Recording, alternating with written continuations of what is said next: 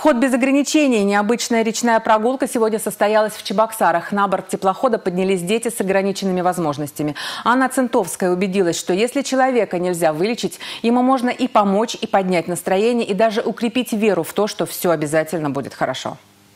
С третьего причала отправляется теплоход с особенными пассажирами. На борту 50 семей. В каждой дети с ограниченными возможностями здоровья. И, как у всех детей, с неограниченными желаниями. Организовал речную прогулку благотворительный фонд имени Анны Чижовой. На попечении у них 346 ребят. Мы стараемся социализировать э, особенных детей, э, тяжелобольных, э, паллиативных детишек, чтобы они приобщались к доступной среде, приобщались э, к социализации. И так же, как мы здоровые, да, живые и энергичные, они тоже живые и энергичные. Своих подопечных Ирина считает родными. «Мы здесь все одна большая семья», добавляет она. Большинство детей никогда не катались на кораблике, не говоря о фуршете. Здесь и вкусные пирожки, и экскурсии от капитана корабля, и аниматоры. Нам все очень нравится, все очень здорово.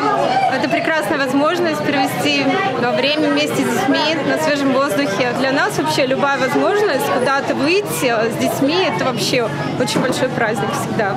Своими эмоциями с нами поделился Вовочка. Ему сегодня посчастливилось побывать на мостике. Сам капитан провел ему экскурсию по рубке и рассказал, для чего же так много разных кнопочек на панели.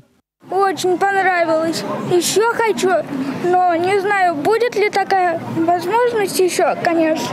Но буду ждать приглашение опять сюда же. Мне понравилась поездка, сама, в целом красота полная открывается. Ну, еще и развлечения очень веселые. Время пролетело, когда играли, незаметно очень даже. По трапу все спускаются счастливые и довольные. Знают, что грустить о том, что поездка закончилась, не стоит. Уже в конце месяца ребят ждет увлекательное путешествие в Казань, а там и другие поездки. Анна Центовская, Бахтияр Велиев, Республика.